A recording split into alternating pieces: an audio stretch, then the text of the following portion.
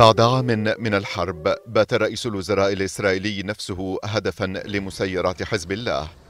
هجوم نادر استهدف مقر إقامة بنيامين نتنياهو في قيسارية إذ انطلقت المسيرة من جنوبي لبنان وشقت طريقها إلى داخل الأجواء الإسرائيلية وفشلت الدفاعات الجوية وحتى المروحيات التابعة لجيش الاحتلال الإسرائيلي في تتبعها على الرغم من تحليقها لمسافة تقارب 70 كيلومترا قبل أن تصل إلى هدفها وتصيب مقر إقامة نتنياهو.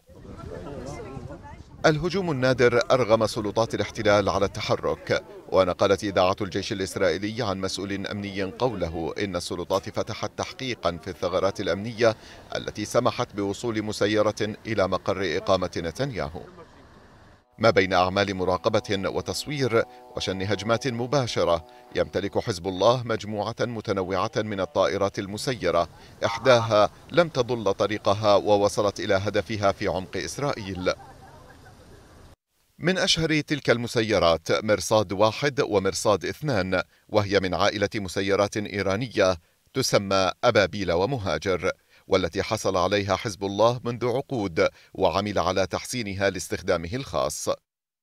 يمكن لتلك المسيرات أن تحمل ما يصل إلى 40 كيلوغراما من الذخائر ويصل مداها إلى حوالي 120 كيلومترا.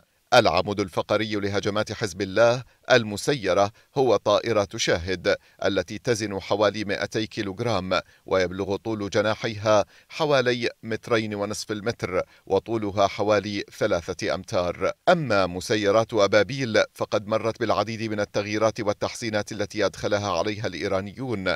يبلغ طول إحدى هذه الطائرات ستة أمتار مع أجنحة أطول في الخلف وأقصر في الأمام. ومروحة في نهاية جسم الطائرة. يتم يتم إطلاقها من الجزء الخلفي من شاحنة. تسارع واضح في اعتماد حزب الله على المسيرات بل وتطويرها كذلك. إلى حد حمل عشرات الكيلوغرامات من المواد المتفجرة. واستهداف المنشآت الإسرائيلية ليس في الشمال فحسب بل في عمق أراضي الاحتلال بما فيها مقر إقامة نتنياهو. Thank you.